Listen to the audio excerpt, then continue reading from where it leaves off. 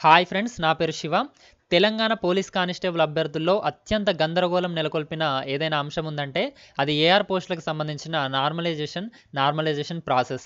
ఫైనల్గా మనకు TSLPRB నుంచి నార్మలైజేషన్ ప్రాసెస్కి సంబంధించిన ఒక పేపర్ అయితే రిలీజ్ అవ్వడం జరిగింది. అందులో నార్మలైజేషన్ ఫార్ములా కూడా ఉంది. ఇది అఫీషియలా అనఫీషియలా అంటే ఇది ఖచ్చితంగా అఫీషియల్ అని చెప్పుకోవచ్చు. ఎందుకంటే ఏఆర్ఎస్ఐకి సంబంధించిన కొంతమంది అభ్యర్థులు దీనికి సంబంధించి కేసు వేసినట్టున్నారు. అందుకే ఇక్కడ మీరు చూడొచ్చు పిటిషనర్స్ అని చెప్పేసి ఈ పేపర్ అయితే రావడం జరిగింది. నాకు తెలిసి ఇది కోర్టు ఆర్డర్కి సంబంధించిన పేపర్ అని అయితే అనుకుంటున్నాను. ఏదైతే ఏంటి మనకు ఫైనల్గా నార్మలైజేషన్కి సంబంధించిన ఫార్ములా అనేది ఇక్కడ మీరు చూస్తున్నారు మీ ముందుంది. ఫ్రెండ్స్ ఒక విషయం ఏంటంటే ఈ ఫార్ములా బేస్ చేసుకొని మీరు మీ యొక్క నార్మలైజ్డ్ మార్క్స్ అనేది తెలుసుకోవడం కుదరదు. ఎందుకంటే ఇక్కడ కేవలం మీ యొక్క మార్క్స్ తెలిస్తేనే మన నార్మలైజేషన్ అనేది చేయలేము. ఆ రోజు హైయెస్ట్ మార్క్స్ ఎన్ని ఆ రోజు అటెండ్ అయిన క్యాండిడేట్స్ ఎంతమంది అని చెప్పేసిన అంశాలు కూడా మనకు తెలియాలి. మీరు ఇక్కడ చూడొచ్చు.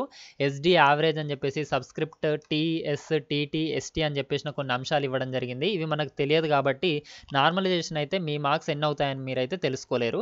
ఆ తర్వాత ఇంకొక విషయం ఏంటంటే మనకు నార్మలైజేషన్ సంబంధించి ఎందుకు చేశారు అని చెప్పుకున్నట్లయితే ఉమెన్ క్యాండిడేట్స్కి అనేది ఈవెంట్స్లో మార్క్స్ ఎయిటీ సిక్స్ పర్సెంటేజ్ వరకు రావడం జరిగింది. ఆ తర్వాత మెన్ క్యాండిడేట్స్కి సిక్స్టీ వన్ పర్సెంట్ వరకు మార్క్స్ అనేది రావడం జరిగింది. ఈ ఉమెన్కి మెన్కి మధ్యలో తేడా చూసుకున్నట్లయితే ట్వంటీ ఫైవ్ పర్సెంట్ మార్క్స్ తేడా అనేది ఉండడం జరిగింది కాబట్టి వీళ్ళిద్దరిని ఈక్వల్ చేయడానికి నార్మలైజేషన్ ప్రాసెస్ యూజ్ చేస్తున్నామని చెప్పడం జరిగింది.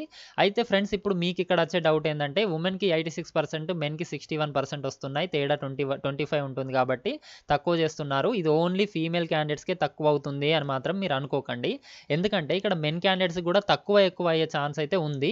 ఆల్రెడీ మీరు తక్కువ ఎక్కువైన మెన్ క్యాండిడేట్ని కూడా చూసారు. ఎందుకంటే ఈ ఫార్ములాలో సబ్స్టిట్యూట్ చేసిన తర్వాత మీ మార్క్స్ ఏవైతే ఉన్నాయో వాటిని ఈ ఫార్ములాలో సబ్స్టి సబ్స్టిట్యూట్ చేసిన తర్వాత మీకు మార్క్స్ పెరుగుతాయా తగ్గుతాయా అనేది ఆ ఫార్ములా ఆ రోజు అటెండ్ అయిన క్యాండిడేట్స్ వాళ్ళకి వచ్చిన మార్క్స్ అనేవి డిసైడ్ చేయడం అనేది జరుగుతుంది. ఫ్రెండ్స్ నేను ఇక్కడ మాత్రం యాజ్ ఇట్ ఈస్గా ఈ పేపర్లో ఏముందో అదే ఎక్స్ప్లెయిన్ చేశాను. కాబట్టి మీ యొక్క ఓన్ డౌట్స్ని మీకు మార్కులు పెరుగుతాయా తగ్గుతాయా అనే ఫ్రస్ట్రేషన్ని మొత్తం వీడియో మీద కానీ నా మీద కానీ అసలు చూపెట్టకండి. కామెంట్ సెక్షన్లో మళ్ళీ సేమ్ డౌట్స్ అయితే అడగకండి. మీకైతే ఇన్ఫర్మేషన్ పాస్ అవ్వాలనే ఉద్దేశంతో నేను త్వర త్వరగా ఈ వీడియో చేయడం జరిగింది. నార్మలైజేషన్ ఫార్ములా మీరు ఇక్కడ నుంచి చూసుకోవచ్చు. అదేవిధంగా దీనికి సంబంధించిన ఇన్ఫర్మేషన్ అనేది ఇక్కడ ఒకసారి వీడియోని పాస్ చేసి చూసుకోవచ్చు. ఓకే ఫ్రెండ్స్ టోటల్గా నార్మలైజేషన్కి సంబంధించిన అతిపెద్ద సీక్రెట్ అనేది రివీల్ అయిందని అయితే నేనైతే అనుకుంటున్నాను. వీడియో కనుక మీకు నచ్చినట్లయితే లైక్ చేయండి షేర్ చేయండి. నా ఎక్స్ప్లెనేషన్ నచ్చితే మన ఛానల్ని సబ్స్క్రైబ్ చేసుకొని మరిన్ని టీఎస్ఎల్పిఆర్బీ అప్డేట్స్ని అందరికంటే ముందుగా జెన్యున్గా ఫాస్ట్గా అంత తెలుసుకుంటారని అనుకుంటున్నాను. Thanks for watching this video have a nice day